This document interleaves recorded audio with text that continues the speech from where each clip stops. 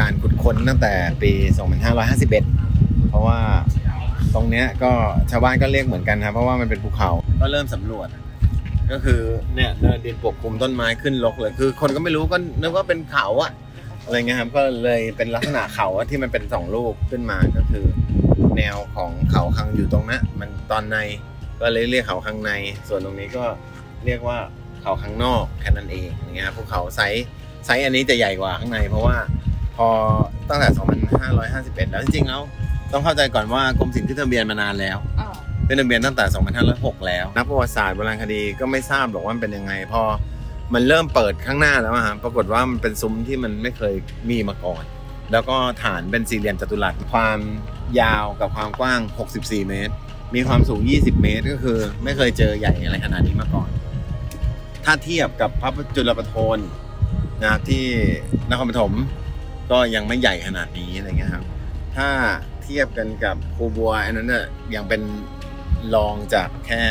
เขาข้างในเลย ก็เลยทำให้มันไม่เคยเกิดรูปแบบแบบนี้มาก่อนที่เป็นลักษณะแบบเดียวกัน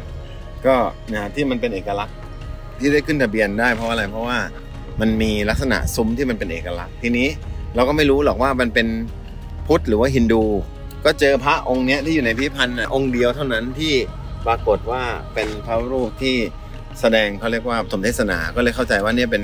พื้นที่ของพุทธนะองค์เดียวอยู่ทางด้านมุมทางด้านฝั่งทิศตะวันตก ปรากฏว่าลักษณะของตัวอาคารเนี่ยได้รับอิทธิพลก็เขาเรียกว่ายกเกตการยกเกตก็คือมันมีมุมซับซ้อนกันนะครับมันมีความซับซ้อนกันเกิดขึ้นนะปกติอะในภูมิภาคเอเชียตะวันออกเฉียงใต้เลยนะครับในอาเซียนเลยยกเว้นอินเดียมันเป็นต้นกำเนิดใช่ไหมปกติอะจะใช้อิฐเรียง แต่เนี่ย คนสีเทพเนี่ยอิฐอะเวลาเผาถ้ามันทำใหญ่ขนาดนี้หกสี่คูณหกสี่อะมันมาโหฬารมากมันเผาอิฐมันทำไม่ทันแน่ทำยังไงดีก็ใช้วิธีการเอาศิลาแรงแทนศิลาแรงทำแล้วก็พยายามทำให้มันสอดรับกันทำให้มันแบบว่าตอนที่ตัดดินออกมาขุดดินออกมาพยายามทำให้เป็นรูปทรงเลย แล้วก็มาเรียงเรียงเรียงเรียงพอเรียงเสร็จปุ๊บทิ้งไว้ให้มันแห้งมีผังเรียบร้อยเลย แล้วก็ทำเป็นซุ้ม ซุ้มแบบเนี้ยที่เป็นซุ้มวิมานเนี่ยมันไม่เคยเกิดขึ้นมาก่อนเพราะเมื่อกี้เราไปดูก็ไม่มีซุ้มแบบนี้ ไอเสาที่เราเห็นนะไอเสาเนี่ยเป็นเสาอิงหมดเลย ก็เลยทำให้เทคโนโลยีการเรียงศิลาแรงค่อนข้างดีมาก แล้วก็ถามว่าฐานเนี่ยจริงๆมันมีฐานอีกชั้นหนึ่งชั้นล่างแต่ว่าเขาไม่ได้ขุดลงไปเขาเรียกว่ามีการยกเกตมีการทำเป็นมุมซับซ้อนมาก แล้วก็มีการวางเขาเรียกว่า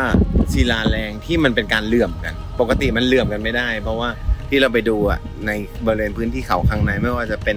ปราสาทขอมปางปางสองพี่น้องอะไรเงี้ยมันจะไม่เหลื่อมเลย เพราะว่ามันกลัวพังแต่ทีเนี้ยนะแสดงว่าเทคโนโลยีการทำเนี่ยค่อนข้างดีแล้ว แล้วก็ทำเป็นทางขึ้นนะเป็นแบบสี่ทิศไอ้สี่ทิศนี่มันเท่าไหร่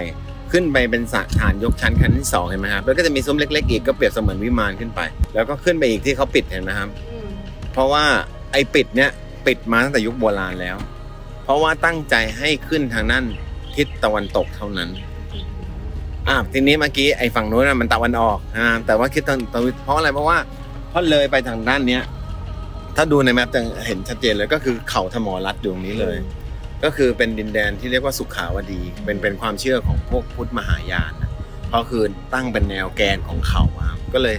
ทางขึ้นก็คือขึ้นทางเดียว พอตอนหลังเนี่ยก็ให้คนขึ้นไปสักการะเพียงได้แค่ทางเดียวเท่านั้น แต่ทีนี้ความมหัศจรรย์ของมันก็คือว่า คนเนี่ยไม่ใช่เดินเวียนเทียนข้างล่าง เพราะว่า